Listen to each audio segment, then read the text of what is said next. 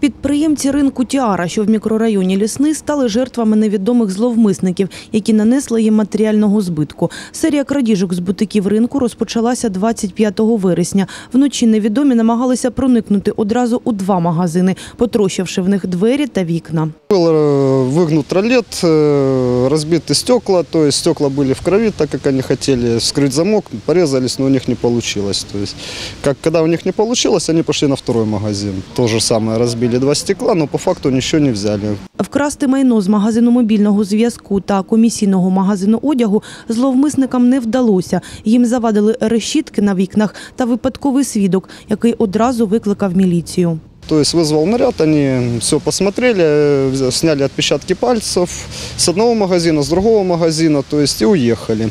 Я через три дня приезжаю в городдел, они мне объяснили, что в уголовном деле отказано, Э, то есть и м, по факту того, что был э, материально, нанесен материальный ущерб. То есть ну, они это квалифицировали как нанесение материального ущерба. Інший випадок стався 28 вересня в комісійному магазині Альошка. Цього разу нічна спроба вкрасти товар для правопорушників виявилася вдалою. Виламавши пластикові двері, крадії винесли з магазину товар, завдавши чималого матеріального збитку. Ущерба материального нанесено на полторы тысячи гривен. У меня детские товары, была унесена сумка-переноска, э, поломано было много вещей, игрушек детских, э, вещи были э, при выбитии двери, вещи были порваны, как бы цеплялись за все.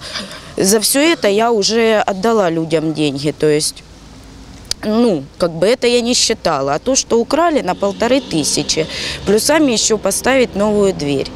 Правоохоронці в обидвох випадках свою роботу виконали. Втім, дії працівників міліції викликають у постраждалих відверте нерозуміння. Підприємців обурює бездіяльність міліції в питаннях прискорення розкриття цих злочинів. Э, Я нашла свидетеля, свидетеля сказала, что она вызвала милицию. Милиция приехала в 4 часа утра. Они просто постояли, посмотрели, что вскрытая дверь, развернулись и уехали, оставив магазин открытый. Три часа магазин стоял просто открытый, туда мог проникнуть кто хочешь. И меня возмущает одно, что ну, как бы мне не позвонили, не сообщили ни директору рынку, никому. Просто магазин стоял открыт. Человек шел умышленно на это дело, был в балаклаве с инструментом, с сумкой, то есть свидетели есть, которые это могут подтвердить.